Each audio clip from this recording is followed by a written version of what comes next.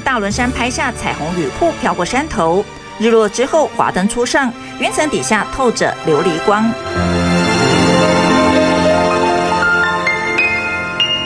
夜幕笼罩下，雨瀑有如一袭轻飘飘的白纱，轻轻拂过。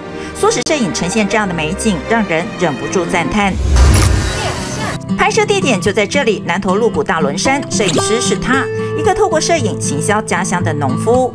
我是农民嘛，我们是种茶的嘛，那就是说，如果能够把兴趣跟自己的产业能够结合，那是当然是最好的哈。那也为我们地方记录一下这么美的。东西把它记录下来。他是个茶农，以前常常看到摄影师专程来到自己的家乡拍照取景。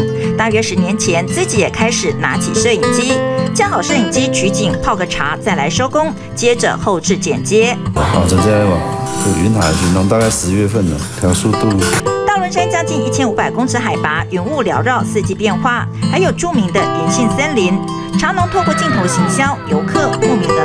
粉砖看到的，因为他这边有拍一些缩时的影片，然后一些云海的影片啊，我觉得这里还蛮漂亮，山线也漂亮。我觉得亲临现场看的感觉更不一样。农夫学摄影拍出了兴趣，还进阶学空拍，已经考取证照。透过空拍机，视野飞上天。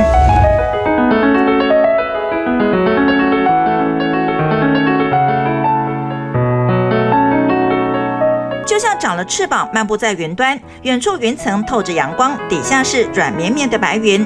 果真此景只因天上有。